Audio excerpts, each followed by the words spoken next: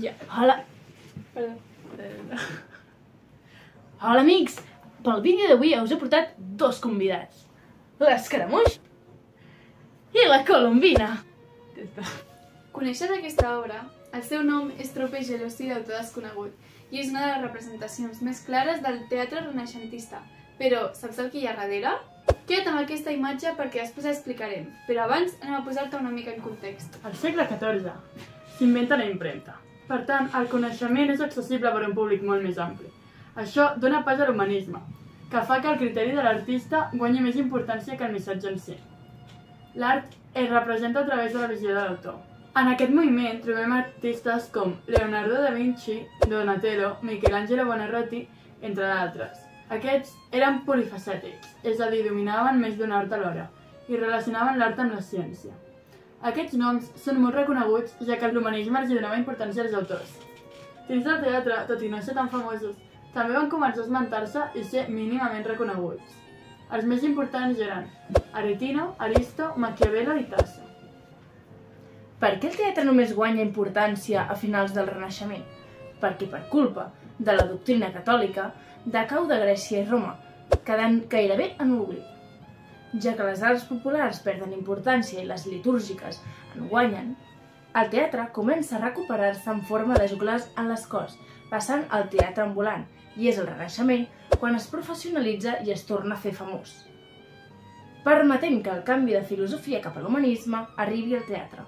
Un factor que va influir en la reaparició del teatre va ser l'increment de població de classe treballadora a les ciutats, que va oferir-li un públic molt més ampli al món del teatre i els hi va permetre a les companyies establir-se als nuclis urbans.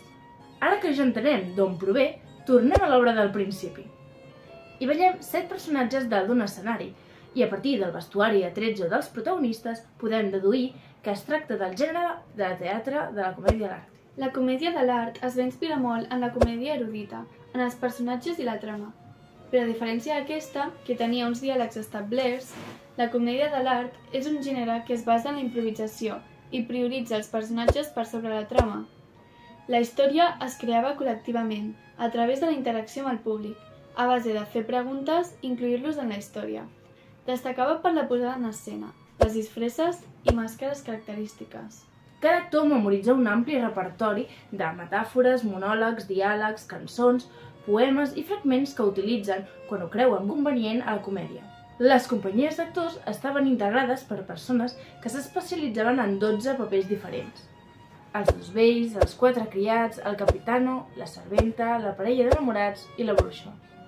Podem reconèixer d'esquerra a dreta a Scarpino, Escaramuix, Coviello, Colombina, Isabela, Pantaleone i Dottore. Això ho sabem perquè els personatges eren l'únic tret d'aquest gènere que es mantenien en cada obra. La característica clau és que hi havia una posició i confrontació de bàndols. Els més freqüents eren els enamorats, els amos o ancians i els criats, i es barallaven entre ells. Això es representaven els temes més famosos, com ara l'amor i les relacions humanes, o temes més polítics com la crítica social i els diners, o d'altres com l'engany, malentejos i baralles. Els actors formaven companyies com ara la Trope Gelosi, que era la més famosa i la que apareix en el quadre. Era d'origen francès, però va viatjar a Itàlia per donar-se a conèixer i va tornar anys després al seu país d'origen. Aquest tret de les companyies es manté en el teatre actual. És només un de tots els que hem mantingut. També mantenim la improvisació i la posada en escena. Moltes de les claus de la comèdia de l'art van ser utilitzades per mestres claus com Shakespeare, Lope de Vega o Molière. Després de la seva desaparició al segle XIX, va tenir continu continuïtat amb gèneres com la pantonímia, el melodrama d'estereotips i el vessant teatral dels pallassos. Si voleu saber més sobre l'evolució del teatre, ens veiem en el nostre pròxim vídeo la setmana que ve. Adéu! Adéu.